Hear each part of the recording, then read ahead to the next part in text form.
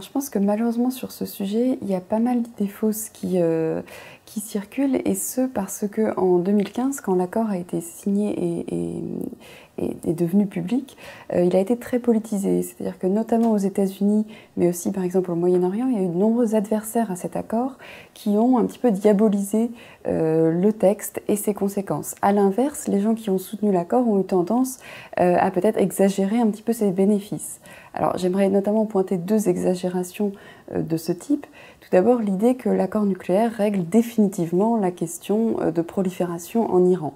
Malheureusement, c'est un petit peu euh, exagéré de l'affirmer à ce stade parce que, évidemment, si on se souvient de ce qui s'est passé avant, l'Iran est entré en violation de ses engagements du traité de non-prolifération, a conduit des activités clandestines.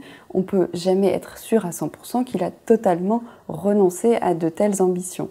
De plus, on va en, rediscuter un petit peu après, l'accord euh, est, finalement limité dans le temps, les garanties supplémentaires qu'il offre ont vocation à expirer, et donc il est impossible d'être sûr à 200% qu'il n'y aura jamais d'activité euh, illicite de conduite dans le passé. Donc il faut rester vigilant, bien sûr, sur ce sujet. La deuxième exagération, c'est de penser que l'accord nucléaire résout toutes les autres difficultés que l'on pouvait rencontrer dans nos relations avec l'Iran. Euh, les intérêts du camp occidental au sens large et de l'Iran sont finalement assez antagonistes sur pas mal de sujets au Moyen-Orient, en termes géostratégiques, en termes d'influence. Ça, ça reste euh, finalement tel quel après la signature de, l'accord. La question des missiles aussi, du programme de missiles dont, euh, que développe euh, Téhéran, cette question a été que très partiellement abordée par l'accord et reste un sujet de, de problématique.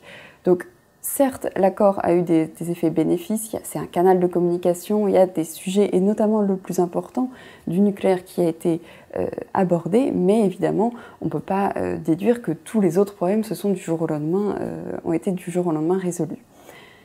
Ceci dit, ces exagérations, donc il faut les, les, mentionner, il faut aussi mentionner l'idée fausse quand même qui a été développée très fortement par les, euh, personnes opposées à cet accord, c'est l'idée qu'il est entièrement au bénéfice de l'Iran, qui va pouvoir euh, bénéficier de ressources supplémentaires grâce à la levée des sanctions pour poursuivre euh, ses activités néfastes, pour continuer son programme de missiles et pourquoi pas même son, programme nucléaire. Je pense que là, il y a une vraie incompréhension euh, d'une partie des, gens qui ont défendu de telles positions, c'est que finalement, cet accord, c'est un compromis. Et euh, d'ailleurs, c'est une de, mes idées, euh, des idées fortes que je voudrais reprendre dans cette présentation. Un compromis, ça veut dire que ni l'un ni l'autre des camps est pleinement satisfait de ce qu'il a obtenu. L'Iran n'est pas satisfait d'avoir dû accepter un régime dérogatoire et des contraintes sur son programme nucléaire. Et bien sûr, côté occidental, la levée des sanctions, ça signifie euh, que l'Iran bénéficie de ressources supplémentaires, que son, sa réintégration dans le commerce euh, international va lui permettre euh, d'avoir des ressources qu'elle peut utiliser à sa guise. Cela dit, je pense qu'il faut bien retenir l'idée que l'Iran a accepté les contraintes euh, de l'accord parce que la population et le président Rouhani euh, souhaitaient un développement économique et social. Et donc si on euh, ne souhaite pas que l'Iran puisse justement améliorer son statut économique grâce à sa réintégration, à son ouverture au commerce international, eh bien on prend le risque finalement que les, les Iraniens le gouvernement euh, change de politique et renonce à cette ouverture, renonce à euh, la limitation de leur programme nucléaire.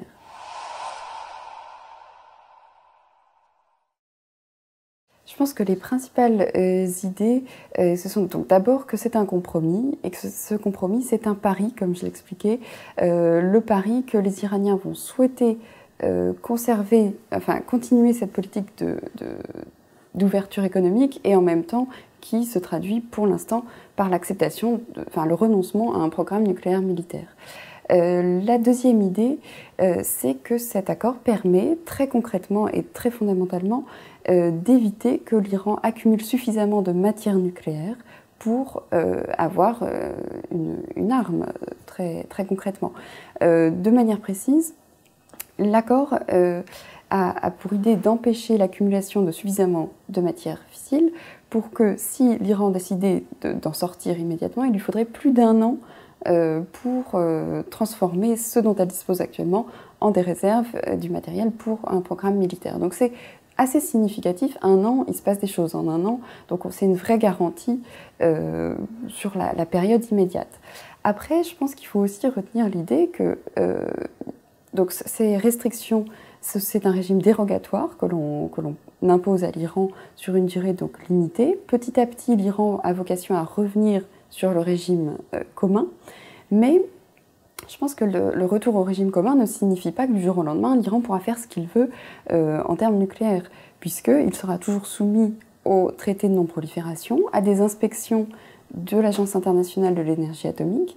Et donc, euh, on ne va pas sortir à la fin de l'accord euh, dans, une situation complètement floue. On aura toujours des moyens de vérifier, certes moins importants que ce qui est prévu jusqu'en 2040, mais néanmoins des, moyens de vérification importants. Et puis, l'autre idée que je pense qu'il faut avoir bien en tête, c'est qu'on reste avec cet accord sur quelque chose qui est très particulier à la situation iranienne. Au moment où il a été signé, en 2015, il y a eu pas mal d'enthousiasme et d'espoir que l'on puisse dupliquer euh, l'accord, notamment sur la situation nord-coréenne. Malheureusement, je pense que c'est assez utopiste aujourd'hui, euh, pour deux raisons. D'abord parce que euh, l'Iran ne disposait pas d'armes nucléaires au moment où on a entamé les négociations, contrairement à la Corée du Nord qui en démontre la, la capacité assez régulièrement. Deuxièmement, les économies, les sociétés des deux pays sont très différentes. L'Iran, un pays qui a vocation à être ouvert au niveau du commerce international, qui dépend beaucoup d'ailleurs de la vente de ses hydrocarbures pour, euh, pour survivre.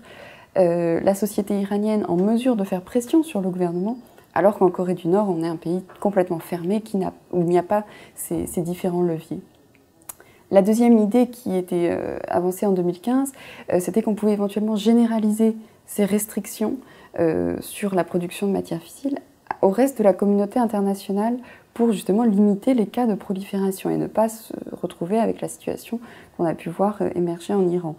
Euh, malheureusement, je pense que ce serait intéressant d'un point de vue de non-prolifération, mais très difficile politiquement à faire accepter aux États non nucléaires qui ont l'impression, et euh, d'ailleurs c'est réel pour l'instant en droit international, qui ont l'impression d'avoir suffisamment de contraintes aujourd'hui pour garantir que leur programme soit civil.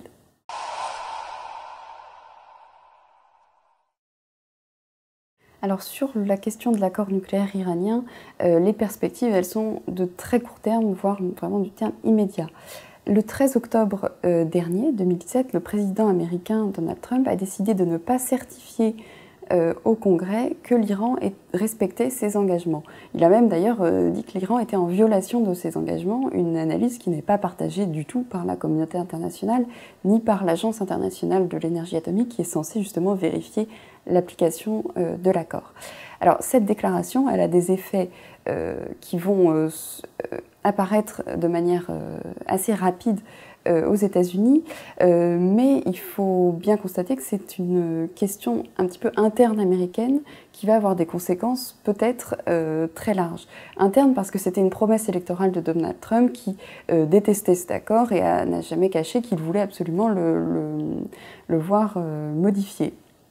Et puis c'est aussi une question de rapport entre le président et le Congrès américain. Et donc il y a un vrai dialogue qui s'engage entre ces deux acteurs et qu'il faut observer en fait euh, dans, les jours qui viennent parce que là ça pourrait potentiellement évoluer à, très court terme. Aujourd'hui la balle est dans le camp du Congrès qui peut décider de réimposer des sanctions à l'Iran et donc euh, mettre fin pour ce qui est des, États-Unis à la participation à cet accord. Euh, mais euh, qui est appelé par le président à donc ne pas immédiatement euh, passer de, sanctions, mais en revanche modifier une loi américaine, euh, une loi américaine qui permet la réimposition automatique de sanctions si l'Iran est en violation de, l'accord. Et ce que souhaite le président Trump et un certain nombre de parlementaires, c'est que ces sanctions soient immédiatement réappliquées non seulement si l'Iran n'applique pas les termes précis de l'accord, mais également si l'Iran euh, réalise d'autres actions qu'il considère comme inacceptables, par exemple euh, au niveau du programme nucléaire balistique, du soutien au Hezbollah, etc. etc. Donc dans la bouche d'un certain nombre de sénateurs, une telle mesure ne serait pas une violation directe de l'accord. néanmoins, c'est une interprétation quand même qui est assez particulière parce que finalement, ça revient un petit peu à renégocier de manière unilatérale l'accord. Le président euh, a appelé le Congrès à se prononcer sur cette question dans les 90 jours qui viennent. Donc ça nous mène euh, aux alentours du mois de, février. Donc ça va être intéressant de voir ce qui se passe jusque-là, sachant qu'il y a d'autres projets de loi étudiés à la Chambre des représentants et au Sénat euh, qui seraient là carrément des, violations de l'accord puisque ça prévoit l'imposition de nouvelles sanctions. Dans le moyen terme, euh, on tous les regards se porteront sur l'Iran cette fois-ci, puisqu'on va se demander quelle pourrait être leur réaction à une, euh, loi américaine dans le sens de celle que j'ai euh, exposée. on a pu penser qu'il y avait encore un soutien assez solide à l'accord iranien parmi la population iranienne qui a souhaité reconduire le président Rouhani dans ses fonctions très récemment. Donc il semble que sa politique d'ouverture euh, continue de séduire euh, l'opinion iranienne, mais évidemment, euh, si les États-Unis, qui est un partenaire important de, l'accord, un des, négociateurs importants, venaient à en sortir, est-ce que le soutien des Européens, des Russes et des Chinois serait suffisant pour convaincre les Iraniens qu'ils doivent continuer d'y souscrire pour avoir les bénéfices euh, des bénéfices forcément moindres, hein, puisque les, sanctions américaines seraient réimposées.